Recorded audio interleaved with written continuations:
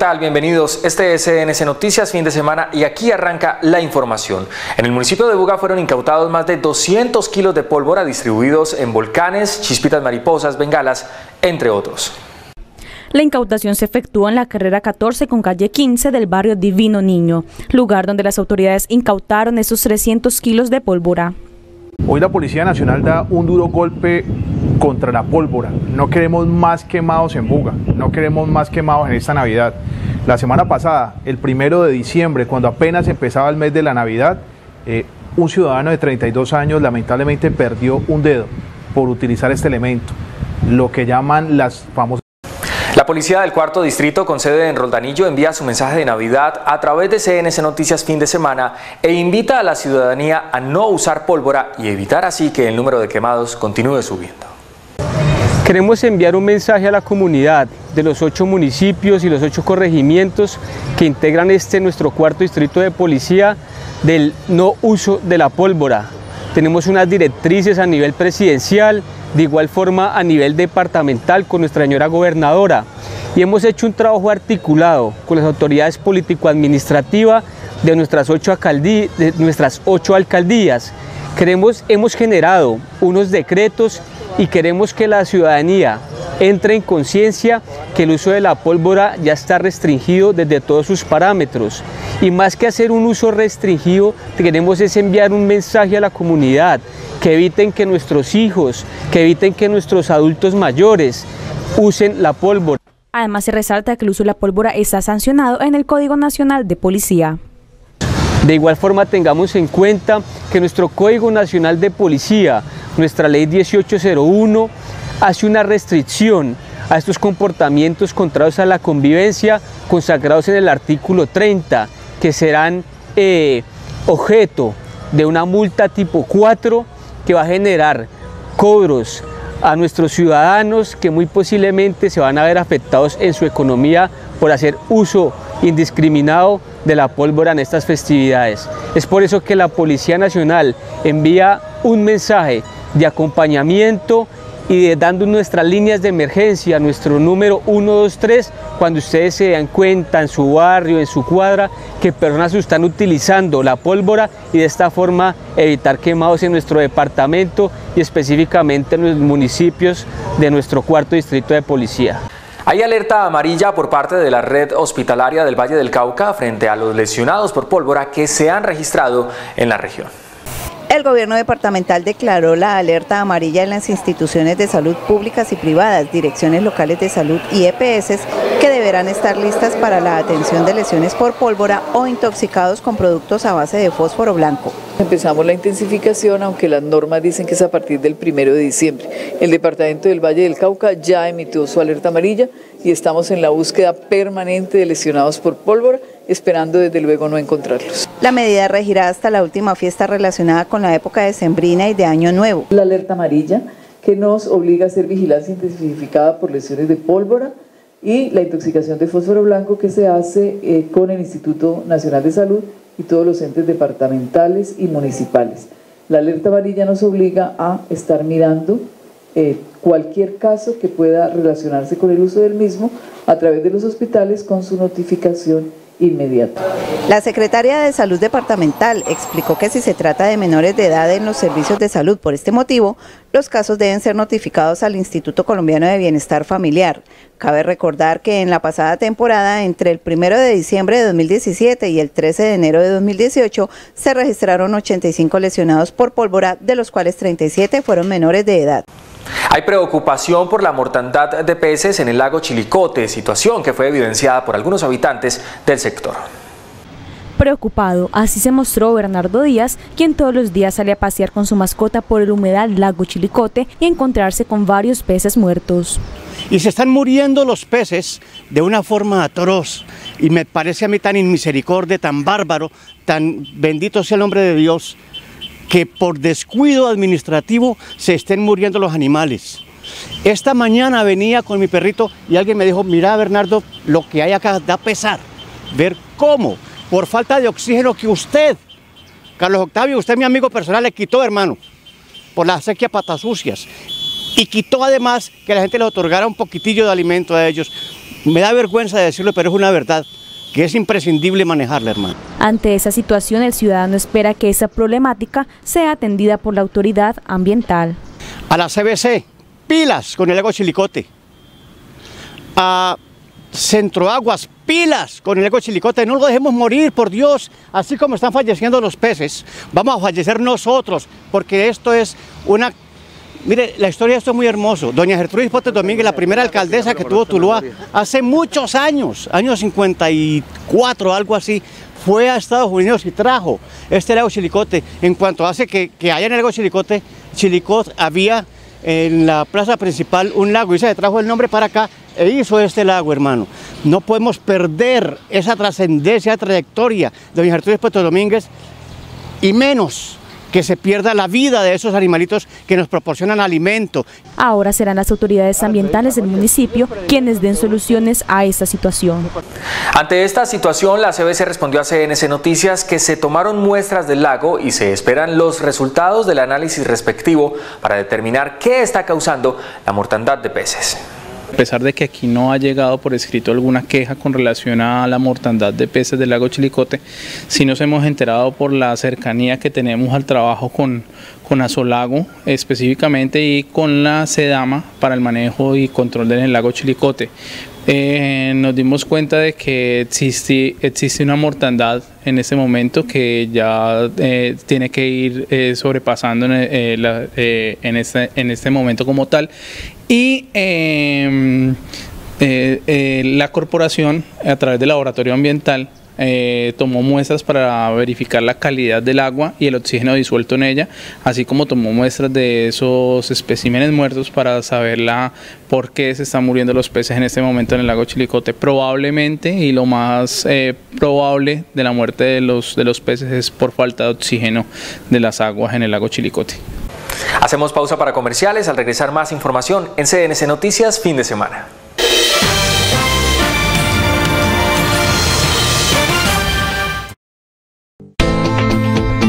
La S, Hospital Departamental Tomás Uribe Uribe de Tuluá, empresa social del Estado, presta servicios de salud especializados en pediatría, medicina interna, ginecobstetricia, cirugía general, ortopedia y traumatología de mediana y alta complejidad y unidad de cuidados intensivos adultos a los habitantes de la ciudad de Tuluá y su área de influencia, con atención 24 horas en el servicio de urgencias y de lunes a viernes de 7 de la mañana a 5 de la tarde en consulta externa. Para mayor información, comunicarse al teléfono 231-7777 o en la página web www.hospitaltomasuribe.gov.co.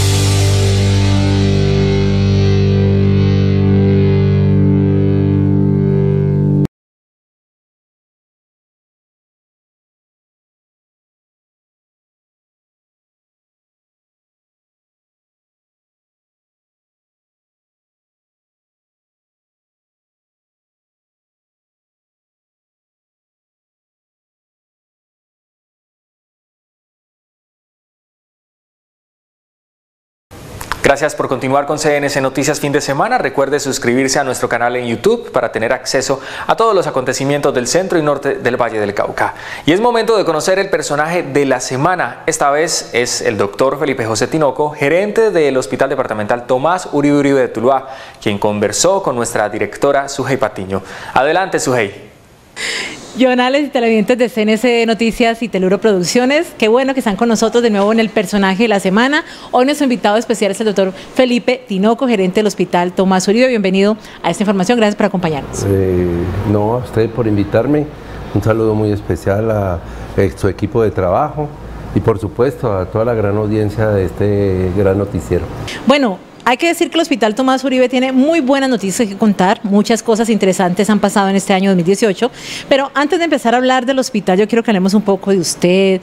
Usted es un samario enamorado del Valle del Cauca, de esta tierra. Cuéntanos un poquito quién es Felipe Tinoco para todos los televidentes. Bueno, no, eh, Felipe Tinoco es un colombiano ante todo, eh, que ama, que siente, que sufre, que vive su cotidianidad Eh, soy casado, eh, felizmente casado, con una tulueña, por cierto. Ah, En el, es de arraigue, arraigo tulueño, de familia tulueña.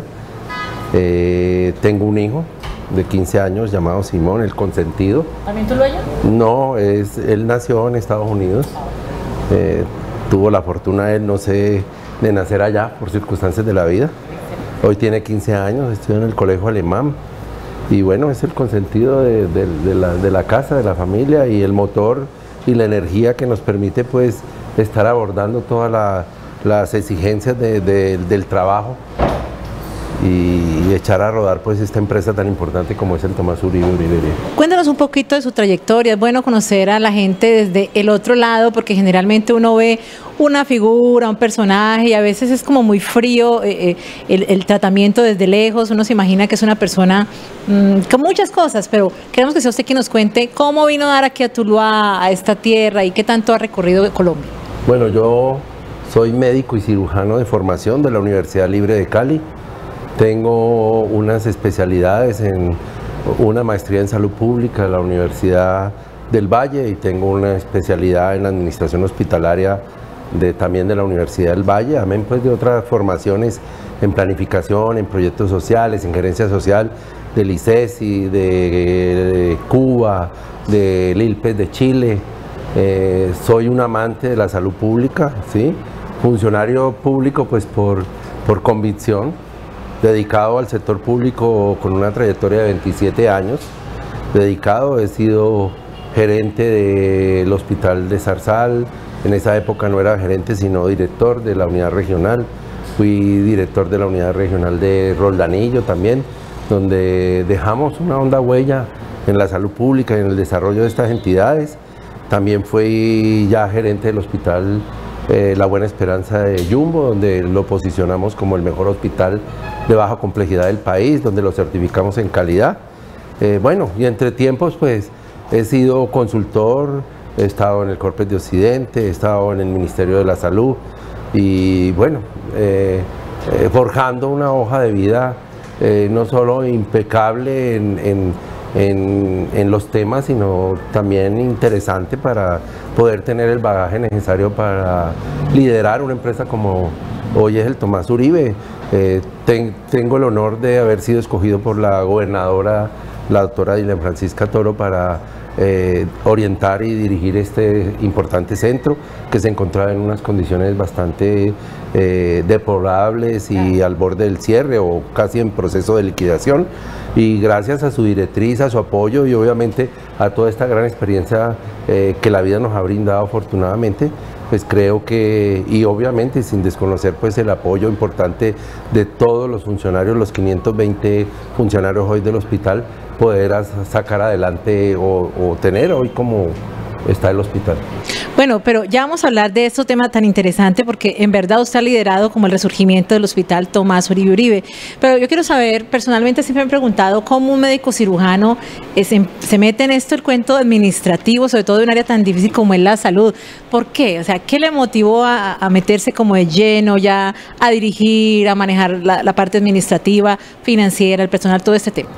Bueno, eh, eh, digamos lo que yo creo que hay eh, experiencias que lo marcan a uno en la vida. Yo terminé mi carrera en la Universidad Libre, digamos lo que hace que al día siguiente de terminar mi carrera me fui a una región interesante como es el Chocó.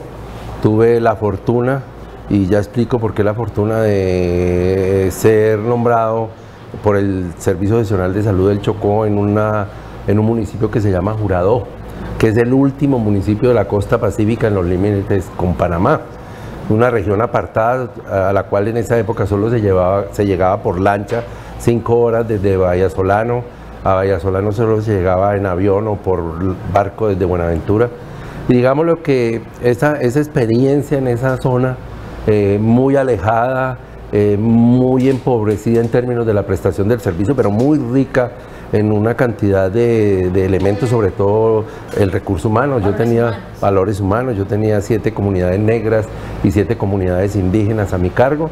Y, eh, y esto hizo de pronto que la convivencia de Jurado es un pueblo de 4.000 habitantes eh, eh, que viven en unas condiciones lacustres y mm, digámoslo muy primitivas, pero muy rico en valores, de pronto me contactó con esa sensibilidad y descubrió en mí ese, ese amor por la salud pública.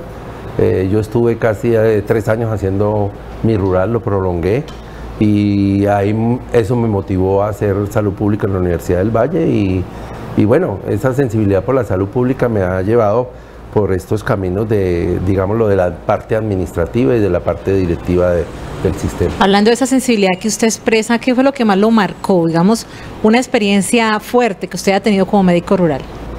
Bueno, no, eh, yo podría, podríamos pasarnos este y muchos programas contando esa experiencia maravillosa de, ser el médico de, jurado. Mm, que me haya marcado, bueno, yo pienso que eh, la, simplicidad con que vive la gente es admirable, que eh, los valores ahí se miden por otro, no importa si tienes la camisa rota, si tienes la camisa roja, si tienes el pantalón verde, o sea, no vales por eso, vales por lo que aportas, por la vivencia, por la forma como sientes y como, y como te integras a esa comunidad. Mm, muchas cosas. Eh, hubo momentos dramáticos, heridas graves, heridas de bala, que hubieron que trabajar porque el mar no permitía la salida eh, durante 3, 4 días y uno con un paciente allí con una herida mortal, pues tratando de hacer algo por eso y ver que toda esa serie de, recursos o de armamentario médico que uno tenía ahí en su, o bagaje médico que uno tenía, pues hombre, servía y daba resultados y cosas que de pronto en la ciudad o hoy en la modernidad acá uno vería como imposibles, pues se dan allá. Entonces, digamos lo que hay también como una magia, ¿no? Como que, Eso le iba a decir. ese ambiente ayuda. Hay, hay una percepción de que el médico es como el salvador, como de alguna manera como ese ser mágico, es el que me va a sanar, el que me va a quitar las dolencias, y más en ese tipo de poblaciones. No, imagínense que tuve, me viene ahora a la memoria una situación con un profesor que fue mordido por una culebra él, estuvo, allá hay mucho chamanismo, muchas pócimas y, magia con, las plantas y con medicamentos caseros. Fue mordido por una culebra, estuvo 15 días en tratamiento con el chamán de la zona. Y pues yo, ese día casualmente yo estaba saliendo como de permiso, iba como con una licencia, cuando llega al centro de salud pues este, este personaje con la familia muriéndose, y entonces pues yo suspendo mi salida, me devuelvo, con lo poco que tenía rudimentario, le hice una transfusión, le apliqué los sueros. Y bueno, curioso que al otro día el paciente a mediodía ya estaba sentado comiendo. O sea, salió mejor que el chamán. Entonces, allá voy. Entonces eso fue... mucho mejor a usted que el chamán. Eso fue, eso fue noticia en el pueblo. Claro. Y causó sensación. E inclusive el chamán vino ah. a hacerme un reconocimiento y ah, a saludarme. Y bueno, generó una amistad que me que me permitió conocer también esta medicina y algunos truquitos pues también. O sea que usted terminó enseñándole al chamán, mm, más o menos, o explicándole su ciencia. Yo creo que, yo creo que aprendimos. Aprendieron, intercambiaron. sí, a raíz de ahí eh, se permitía que los pacientes pues tuvieran también algún apoyo de, su, de su, creencia pues eh, local y, y, a mí me, me expandió la conciencia de que hay otras posibilidades y otros conocimientos que a pesar de que uno no los entienda, son igualmente valiosos como lo que aprendemos en la universidad. Ya pues, el doctor Felipe Tinoco, el médico de jurado, el que le enseñó al chamán. Continuamos con el personaje de la semana aquí en CNS Noticias del fin de semana con el doctor Felipe Tinoco, gerente del Hospital Tomás Uribe Uribe. Nos ha contado una historia muy bonita de su vida como médico rural, de lo que ha compartido con una población tan especial como fue la de jurado. Ahora hablemos de ese proceso, de ese momento en el que usted llega y se convierte, digamos, en la persona que resucita al Hospital Tomás Uribe Uribe porque estaba en unas condiciones precarias cuando usted llegó. Cuénteme un poquito de historia.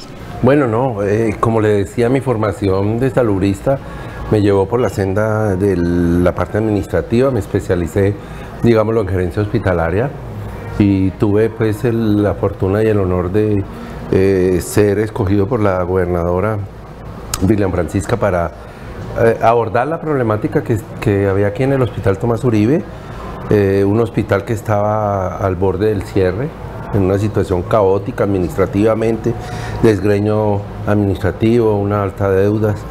Bueno, y pues Yo creo que toda esta formación y toda experiencia que, he vivido y que la vida me ha permitido, pues eh, igualmente me permitió aquí liderar un proceso.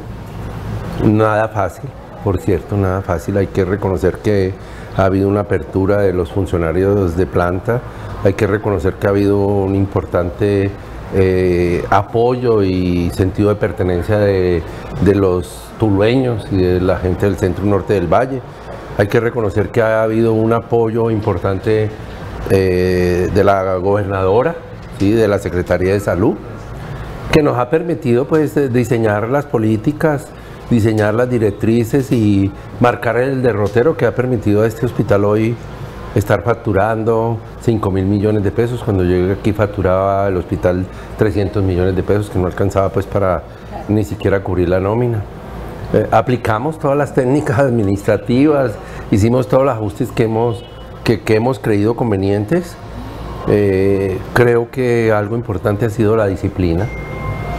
Yo creo que la disciplina y la transparencia han marcado esta etapa de recuperación del hospital. Hemos hablado claro, hemos hablado de frente, hemos hablado sinceramente a los funcionarios, a la comunidad.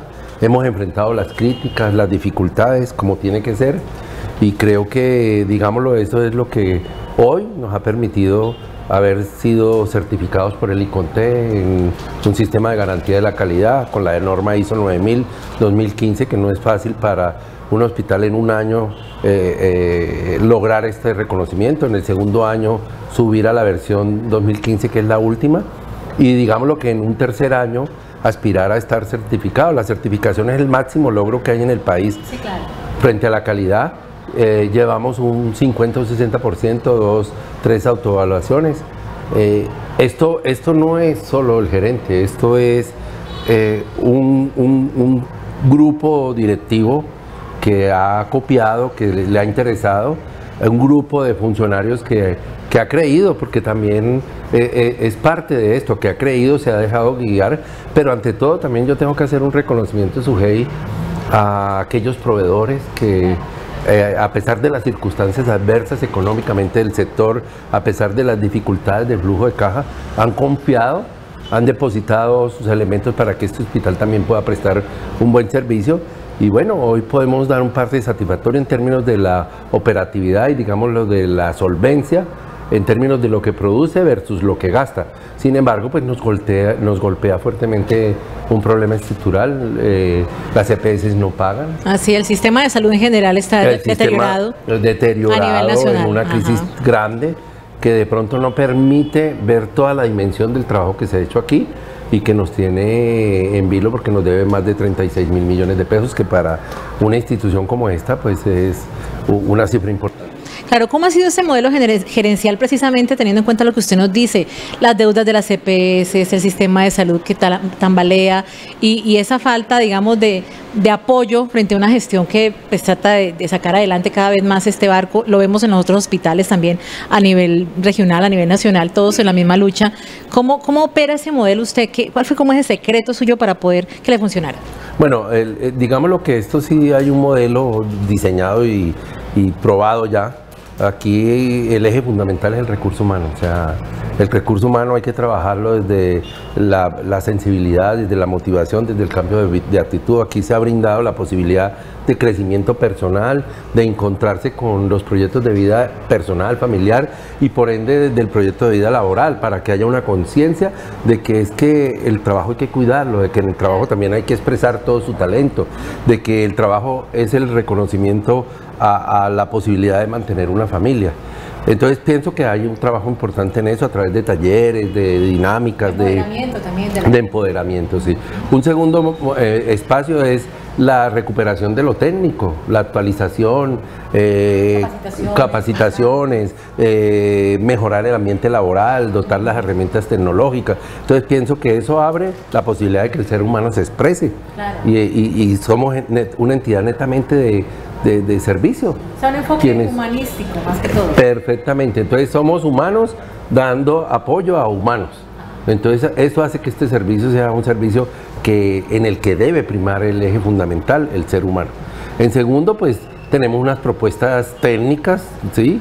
claramente definidas, tenemos unas propuestas de calidad, tenemos una recuperación del sistema de información. Aquí se ha hecho una inversión grande en sistema de información que nos permite tomar decisiones en tiempo real. Y entonces hay unos ejes transversales como es la acreditación, la certificación calidad, como es los sistemas, este, eh, ahora hay, hay algo que se llama, eh, eh, que hace que la parte sistémica de la entidad se mire, se mire con enfoque de riesgo y se trabajen los riesgos, planes de mejoramiento. Entonces digamos lo que sí hay una matriz ahí que hemos a través del tiempo perfeccionado y que nos ha permitido trabajar todos estos temas y al unir todos estos temas donde hay un mejoramiento de la infraestructura física. Nos, eh, hemos mejorado la infraestructura física, esta infraestructura hay que cambiarla porque no cumple con la norma y, es parte del proceso. También hemos formulado un proyecto de, de, nuevo hospital que la gobernadora está gestionando y ojalá tengamos una buena noticia este año frente a eso de forma tal que en un año que estemos terminando este ciclo, digámoslo, de gobierno, podamos entregar a la comunidad un hospital fortalecido no solamente en el recurso humano, no solamente en los servicios, sino también con una nueva cara, con una capacidad tecnológica de respuesta que permita recuperar lo que anteriormente fue, porque este hospital fue un hospital de gran prestancia regional, de gran importancia en la referencia y contra la referencia, y eso es lo que pretendemos devolverle a la ciudadanía. Bueno, primero que todo pienso que el gran motor es mi familia, mi esposa y mi hijo, son los que generan, pues, digámoslo, esa fuerza necesaria para, entre otras cosas, eh, gracias a, su, digamos, también a, sus, a ceder el tiempo familiar, pues es que yo puedo dedicarle ese tiempo al hospital. Eh, me recojo en familia, caminamos, mi hijo es un deportista, mi esposa le gusta caminar y entonces el fin de semana eh, caminamos, hacemos eh, caminatas en el Parque de la Salud, me gusta caminar por el mundo, no solamente en mi país, conociendo las rutas de mi país. ¿Usted colecciona piedras? Ah, sí, eh, hay, un, hay una afición por coleccionar piedras, entonces tengo de los lugares que me ha permitido la vida visitar en todo el mundo, pues eh, si está bien, recojo un souvenir, por así decirlo, y entonces hay una colección de piedras que que básicamente para mí significan pues ese conocimiento del, mundo, de la tierra, de, las vivencias que le permiten crecer, expandir la mente y tener una posibilidad de entender lo que ocurre desde otra mirada, no, no neurótica, no. Rápidamente el, deseo de internacionalizar al Hospital Tomás Uribe, ¿cómo va ese proyecto? Sí, no, definitivamente eh, no por público tenemos que ser mediocres, no por público tenemos que ser hospitales de caridad. Este hospital eh, va a ser un gran hospital donde va a reinar la excelencia, eh, tiene un grupo humano fabuloso, tiene una ciudadanía que tiene un gran sentido de pertenencia, pareciera que todos los tuleños eh, de renombre y de no renombre pues han nacido aquí en este hospital y eso genera... Por nosotros, nuestros hijos, pero algo tenemos que ver con hay alguna conexión. ha habido una gran respuesta, ¿sí? Aquí, a pesar de que hay otros centros hospitalarios también de renombre, pues eh, ha habido un espacio y hay para todos, porque no se trata de sacar a nadie. Entonces, eh, en, esa mirada este hospital tiene que trabajar la excelencia, la excelencia es de, talla mundial, la excelencia no es solo de talla local, la excelencia es de talla mundial. Hoy en día no hay fronteras frente a la posibilidad de que vengan pacientes de otros países. Usted sabe que Tuluá es un centro de, por decir algo, de cirugía plástica, vienen pacientes de otros países a hacerse. Entonces, la idea es que este, este, este templo de la salud esté homologado para atender pacientes de todo el mundo. Algo que se me olvidaba es que también estamos trabajando porque sea un hospital universitario. De hecho, ya es un hospital universitario, sin embargo hay que cumplir unos requisitos, Hemos, tenemos 12 de los 14 requisitos, ya nos falta muy poco, entre ellos la acreditación, y entonces esa es otra forma de devolverle a la sociedad eh, la responsabilidad social que se llama, es que el, recurso humano en salud pueda formarse aquí en, en Tuluá y no tenga que viajar al eje cafetero. Inclusive vienen del eje cafetero, de las universidades del eje Es que es un hospital departamental prácticamente. De entonces eso genera también eh, un reto de, ser reconocidos y de responder a, ese reconocimiento. Sí. Bueno, doctor, qué bueno, qué rico haberle conocido esas facetas que uno pues quiere saber qué hay detrás del gerente, qué hay detrás de la persona que está al frente de, todo un gran, una gran institución como es el hospital. La última pregunta así rapidito, ¿qué es más difícil, una cirugía o sacar adelante, levantado este, este muertico que era antes el hospital? Sí, esa es mi especialidad. Esa es mi especialidad. ¿Las cirugías difíciles? Yo, yo soy médico por esencia, ¿sí? Y, y, y, mi formación va a eso. Lo que pasa es que yo cambié ese paciente individual, lo cambié por un paciente grandote. Eh, grandote. Inmenso. Y aquí tengo la oportunidad, al sacar adelante esto, yo estoy atendiendo no uno, sino todos los, no sé, los habitantes, los ciento y pico de habitantes que tiene Tuluá, los 600 habitantes que tiene eh, los alrededores del centro norte del valle. Entonces, eso también me da una satisfacción personal porque ese es un compromiso, mi compromiso como médico es con la humanidad, con aliviar el sufrimiento, con aportar mi granito de arena para que haya una convivencia y cada día pues seamos mejores seres humanos. Pues doctor Felipe Tinoco, gracias por acompañarnos en el personaje de la semana. Qué rico eh, poder compartir tantos proyectos, tantos sueños. Sabemos que hay muchas cosas todavía que conversar sobre el Hospital Tomás Uribe, sobre los proyectos que vienen, sobre el personal y sobre su trabajo. Pero pues gracias por dedicarnos estos Gracias a usted, Sujei, y también al personaje de la semana. Pausa para comerciales, ya regresamos.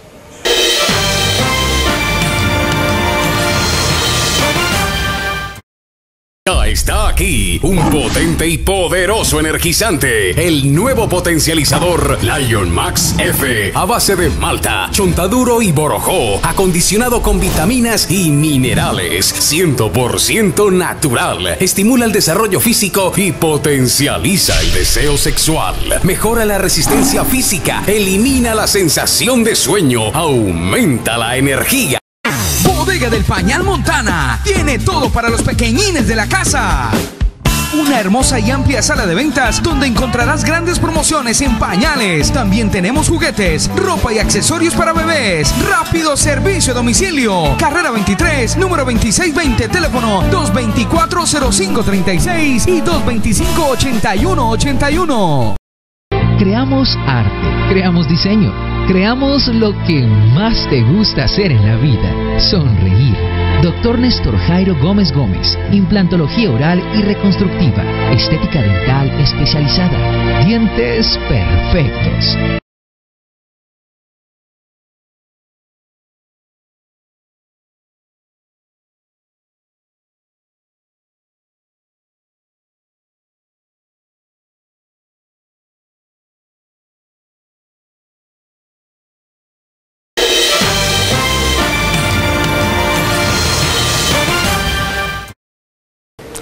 Estamos de vuelta en CNC Noticias fin de semana. Más de 450 personas entre directivos y funcionarios del Hospital Departamental Tomás Uribe Uribe de Tuluá celebraron la Semana de la Salud. De positiva fue calificada por los directivos del Hospital Departamental Tomás Uribe Uribe en Tuluá la Semana de la Salud. Bueno, eh, la verdad es que el balance es positivo. Logramos tener cuatro días de actividades en el marco de la Semana de la Salud organizada por supuesto por el Comité Paritario de Seguridad y Salud en el Trabajo, con apoyo de la gerencia eh, y también del Comité de Bienestar Institucional. Eh, logramos tener muchas actividades, desde el día lunes hasta el día jueves, que es el día de hoy en que concluyen las, que concluye la jornada como tal. Abordamos alrededor de 450 personas que están vinculadas de manera directa o indirecta con el Hospital Departamental Tomás Uribe Uribe. Esta semana fue distinta para los funcionarios de este centro asistencial, quienes participaron de las diversas actividades. La respuesta por parte de los funcionarios ha sido la mejor. Eh, hemos podido tenerlos, digamos, inmersos en las actividades, tanto recreativas, de actividad física y ejercicio, como también en algunas actividades que, que están relacionadas con conferencias direccionadas a mitigar de alguna manera o a controlar el riesgo psicosocial que tenemos en la institución y el riesgo biomecánico, que hacen parte, digamos, de, de la matriz que maneja el área de seguridad y salud en el trabajo. Este tipo de acciones que propenden por el bienestar de los directivos y funcionarios de este centro asistencial deben hacerse constantes según expresaron quienes participaron de la misma. Me beneficia mucho porque se está dando énfasis a la salud, se ha hecho muchas actividades que tienen que ver con los empleados como tal y se les ha dado mucha importancia a los empleados del Hospital Tomás Uribe. La Semana de la Salud del Hospital Departamental Tomás Uribe fue promovida por el Comité Prioritario de Seguridad y Salud en el Trabajo. Y en el municipio de Bugalagrande, un grupo de personas se reunió para recolectar fondos y restaurar el tradicional reloj de la parroquia San Bernabé. También se adelantan labores de restauración del campanario.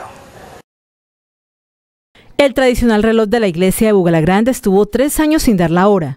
Un grupo de ciudadanos lideró varias actividades hasta recaudar el dinero suficiente para enviarlo a reparar a Cali. Podemos decir que estamos muy satisfechos por la respuesta que hubo en la comunidad.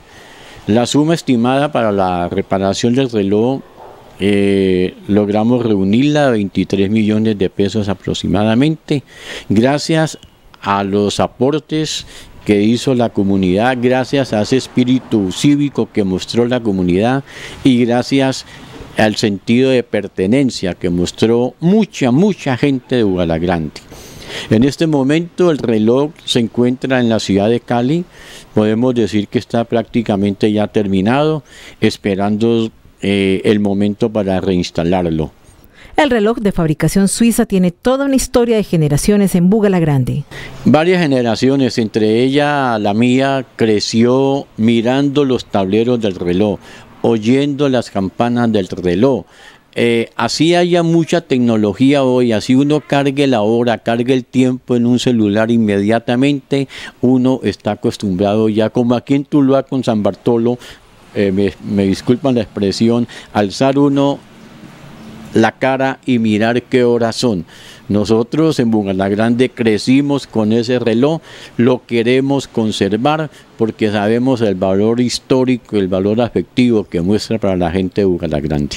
También se adelantan reparaciones en el campanario de la parroquia. Eh, estamos eh, a espera de que la situación con las campanas eh, que mostraban un riesgo de desprenderse y causar pues una tragedia se resuelva. Eh, sabemos que ya se está trabajando en esa materia, en el desmonte de esas campanas y luego hacerle unos arreglos a la cúpula del templo para que quede toda la situación eh, solucionada y nosotros poder reinstalar el reloj. El objetivo es entregar el reloj de nuevo en funcionamiento en la última semana de diciembre con una celebración en la que se espera participe toda la población. Nuevamente pausa para comerciales y al regresar Nia Gómez con los deportes. Este es CNC Noticias fin de semana.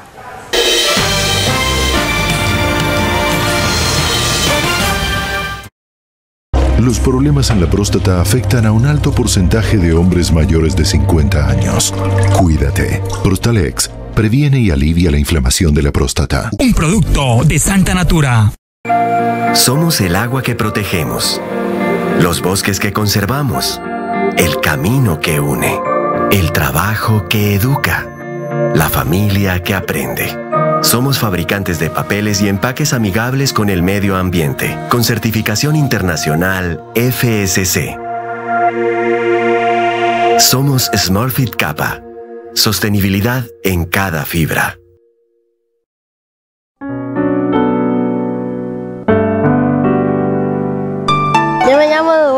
Juan Esteban. Samuel. Juan Salvador. Ángel. Juan Gregorio. Martín Triano Espina. ¿Qué vas a hacer cuando grande? Quiero ser un director de cine. Me gustaría ser científico para descubrir mundos sin explorar. No lo sé. Ella es Lorelai. Mucho gusto. Hola. Hola. ¿Qué te gusta de Lorelai? La sonrisa. Los ojos llenos de felicidad. Hazle una cara graciosa. Ahora dale una cachetada. Sí, una cachetada fuerte. No. ¿Por? No. ¿Y por qué no? Porque a la mujer hay que respetarla. Ella es una niña, ¿cómo le va a pegar una cachetada?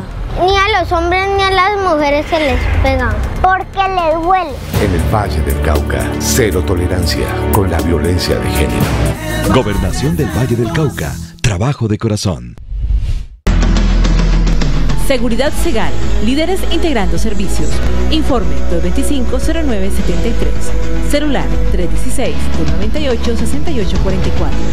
Seguridad Segal, para su tranquilidad, con toda seguridad. Toda una organización a su servicio.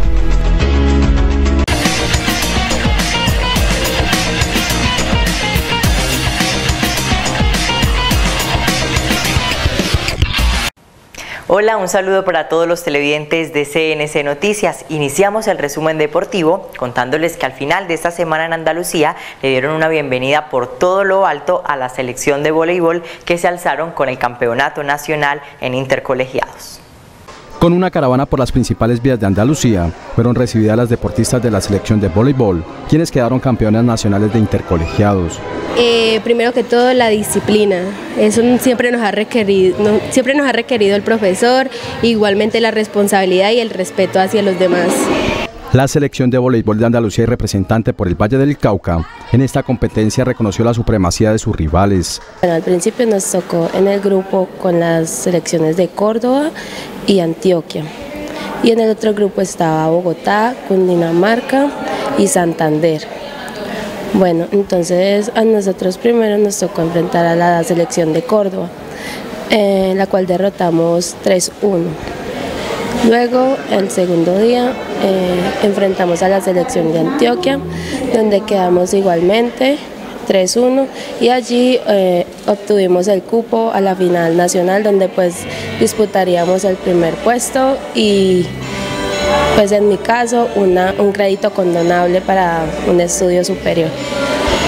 Y ya en la final nos tocó enfrentarnos contra la selección de Bogotá, del Distrito Capital, y lo derrotamos 3-0. Dejar en alto el nombre de Andalucía, reto que las deportistas asumieron con gran responsabilidad. También igualmente muy duro, ya que ya son prácticamente ocho becas que nos ganamos todas y pues ya es una responsabilidad muy grande. Por cuarta vez consecutiva, las chicas de la tierra de la gelatina se alzan con el título de campeonas nacionales de los intercolegiados. En CNC Noticias destacamos a Samuel Rusi en la disciplina del hockey tulueño. Este joven deportista perfecciona su técnica para lograr ser el mejor. Samuel Rusi lleva más de un año entrenando hockey y gracias a su esfuerzo, dedicación y disciplina, cada día se destaca más y se consagra como una gran promesa de esa disciplina deportiva. Eh, yo jugaba fútbol pero luego me aburrí y entonces me dio por probar el patinaje. Cuando entonces yo me tocaba en la otra pista y en esta y eso era gratis, pero uno, uno podía venirse aquí pero ya tenían que pagar. Pero me empezó a gustar mucho el hockey y y me vine para acá, me gustó. Durante este año el joven participó en todas las competencias departamentales y nacionales. En este año he participado en cada torneo que ha habido, excepto uno que fue en Manizales. Eh, porque en ahí eh, tenía unos problemas que no podía ir por eso. El 2018 fue un año positivo para Samuel, pues en cada una de las competencias en las que participó la selección Tuluá de hockey, el joven deportista logró destacarse. Muy bien, porque exactamente he jugado muy duro, he dado todo lo que tengo, he jugado en sub 15 y yo creo que di todo lo que tengo, todo. Bueno, ¿qué expectativas tienes para el próximo año? Tengo unas expectativas de que tal vez pueda jugar también en sub 15 de nuevo, aunque en realidad soy sub 12, pero todavía quiero subir de nivel, seguir siendo más fuerte y mejorar cada día. Actualmente Samuel Rusi es categoría sub-12, pero gracias a su buen desempeño y juego ya disputa competencias en la categoría sub-15. Hablamos ahora de la selección femenina de baloncesto en Tuluá que buscará participar en los Juegos Deportivos Departamentales de Buenaventura, esto como fogueo para participar en Juegos Nacionales. El monitor Javier Caicedo entregó un balance de lo que fue el proceso del baloncesto femenino en este año. Eh, el proceso fue un poquito eh, chévere porque fueron niños que apenas están empezando a practicar baloncesto. Empezamos con un grupo aproximadamente de 90 niños eh, aquí en la escuela, en el colegio Julián Restrepo y en diferentes colegios, eh, Colegio de Occidente, La Graciela, donde manifestamos pues el deseo del INDER eh, llevar el baloncesto. Mm, se hizo un proceso en categorías mini, infantil, en esas dos categorías porque, porque la verdad 2002-2003 no nos servían. Este proceso también se adelanta con hombres en la categoría infantil. Sí, tenemos un grupo bastante grande, eh, categoría 2009, o sea, niñas de 6, 7, 8, 9 y 10 años, y en hombres también categorías 9, 10, 11 añitos, dándoles el proceso de formación y luego invitándolos a que participen con la selección Tuluá eh, en el Coliseo Benicio Echeverry.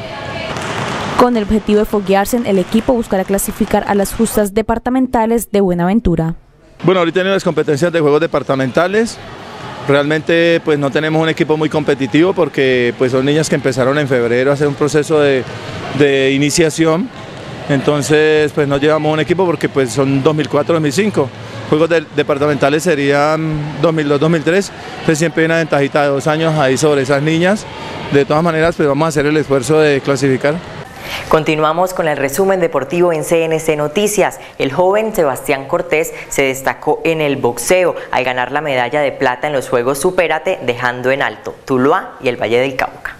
Se trata del joven Sebastián Cortés, quien logró subir al podio en estas justas, dejando en alto el nombre de Tuluá y el Valle del Cauca. El boxeador tulueño Sebastián Cortés eh, participó en Barranquilla en Juegos Supérate los cuales eh, ganó dos peleas y perdió la final porque, pues, de cualquier manera, perdió con, con, el, con, el, con el de allá mismo de Barranquilla. Pero es un muchacho nuevo que tiene, tiene se, ve una perspectiva para más adelante. Eh, lo tenemos para juegos departamentales. Esperamos que de aquí a los juegos que son en el mes de junio mejore y podamos traernos una medalla de oro. El Valle del Cauca tuvo un buen desempeño en esta competencia y la única medalla de plata fue alcanzada por el pugilista tulueño. Sí, porque mire que se tuvieron nomás tres de oro y una de plata que fue la de él. Y, y tres de bronce, lo cual es, pero para nosotros es a nivel positivo porque es un muchacho nuevo. Cuando es nuevo, pues uno dice, hombre, cualquier cosa que así sea bronce, pero no, ganó dos peleas que para nosotros es importante porque eh, no se las ganó cualquiera, se ganó a un boxeador de Medellín, de Antioquia, y el otro de la costa también, pero entonces eh, ya el la tercera pelea ya estaba muy cansado y porque pues son muchachos nuevos. Con Sebastián Cortés se busca trabajar arduamente para los próximos Juegos Departamentales 2019. Para cerrar este resumen deportivo, les contamos que a final de esta semana, Cortuluá le ganó una demanda Atlético Nacional, esto en segunda instancia por el traspaso del jugador Fernando Uribe al fútbol mexicano. Nacional le deberá pagar 5 millones de dólares a Cortuluá y además no podrá hacer contrataciones durante el 2019. Así terminamos Deportes en CNC Noticias. Vamos a una pausa comercial y ustedes continúan con más.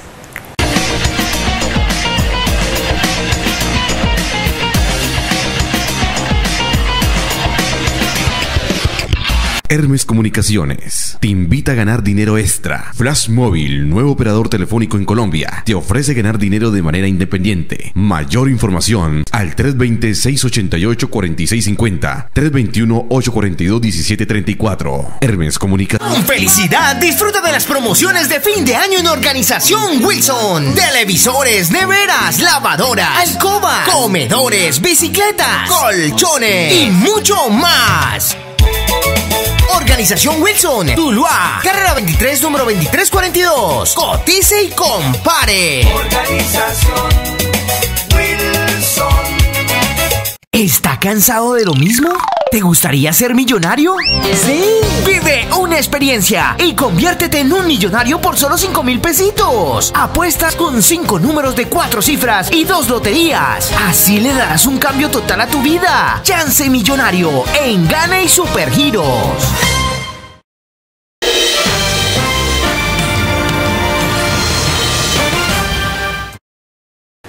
Bienvenidos a Zona Rosa. Hoy en Zona Rosa estaremos destacando a un niño tulueño de tan solo 12 años que obtuvo el segundo lugar en la categoría infantil de los concursos nacionales de pintura.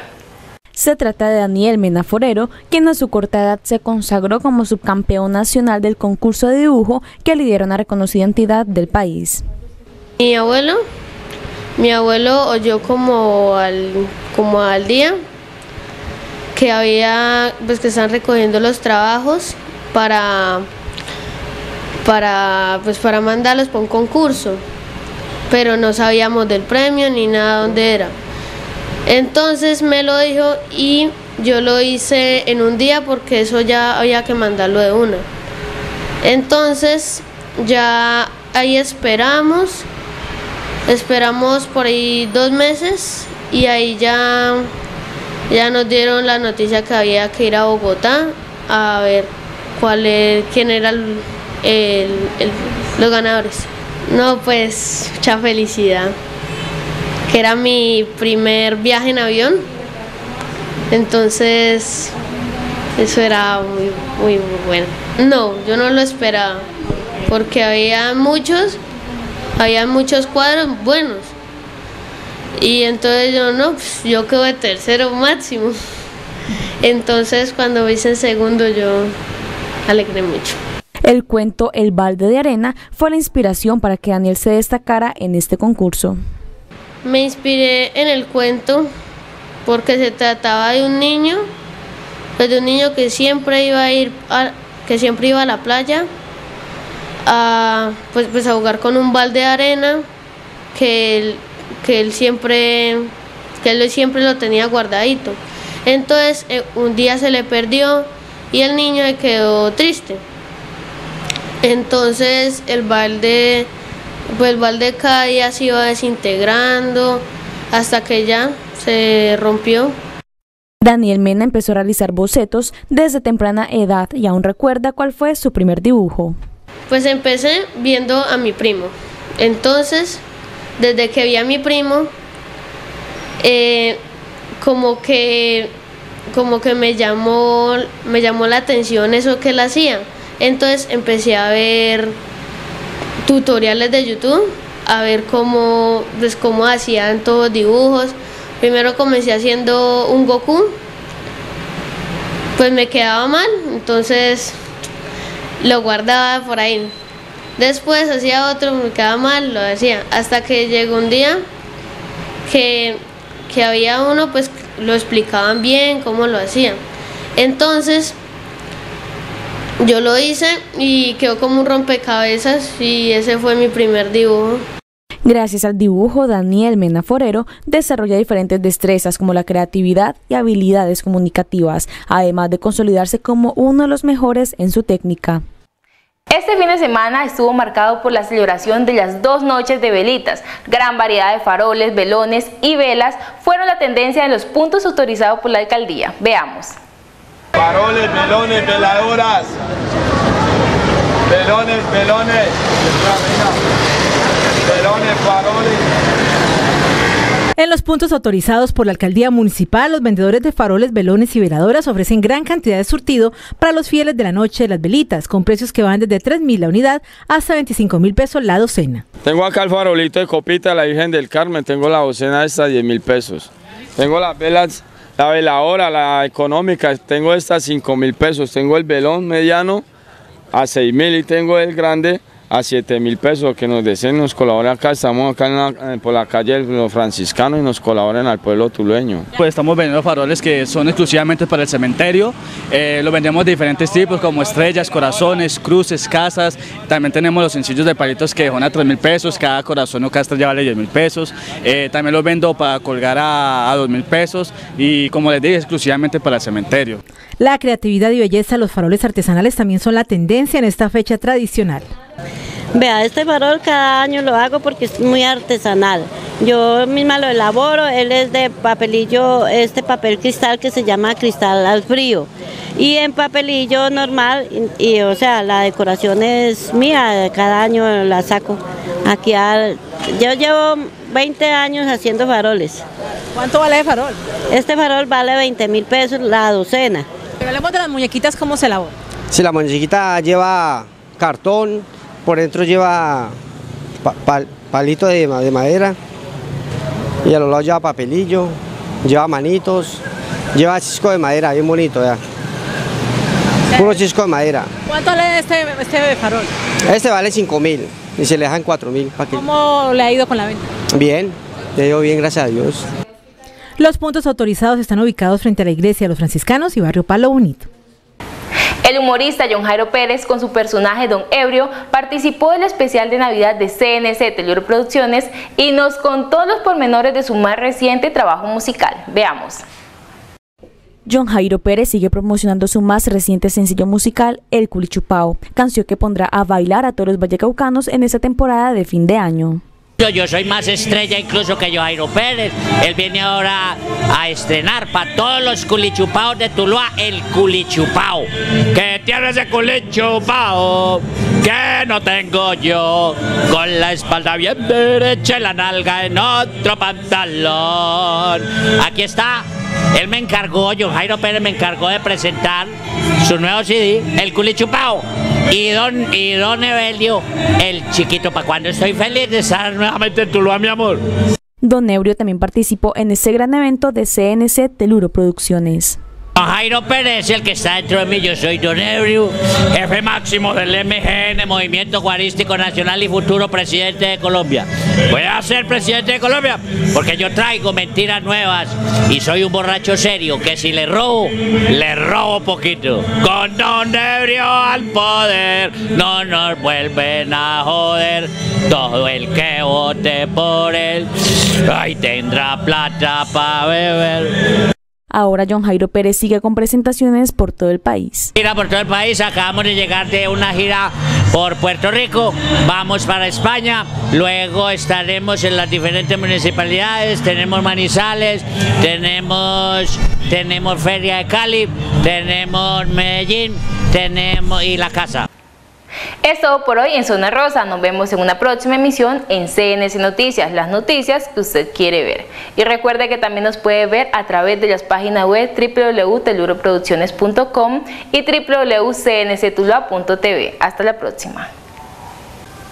Es toda la información en CNC Noticias fin de semana. Suscríbase a nuestro canal en YouTube CNC Noticias Tuluá. Hasta pronto.